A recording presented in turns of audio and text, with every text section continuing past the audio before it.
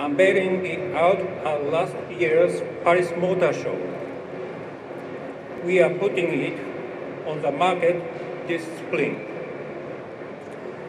The Alto has CO2 emissions as low as 103 grams per kilometer and fuel consumption of just 4.4 liter per 100 kilometers. So it's the most eco-friendly and economical petrol engine car we've ever created.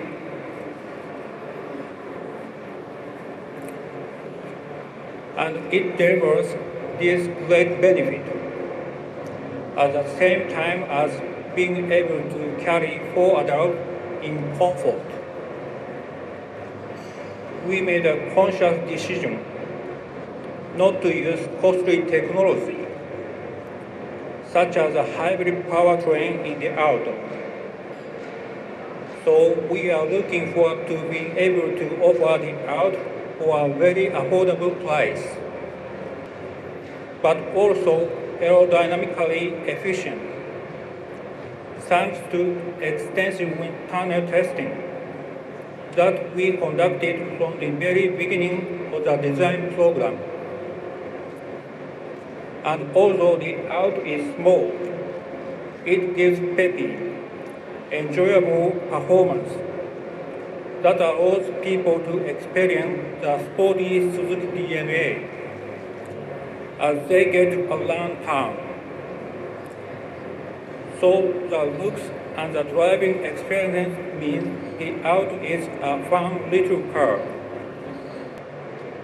Right now, for example, we are working on engine auto-stop-start systems and variable valve timing for the Alto and splash. Through these initiatives, we aim to get CO2 emissions down to just 95 grams per kilometer with the Alto and 109 grams per kilometer with the splash. Meanwhile, we are working hard to offer alternative fuel vehicles that match our customers' needs and the infrastructure in area where our customers live.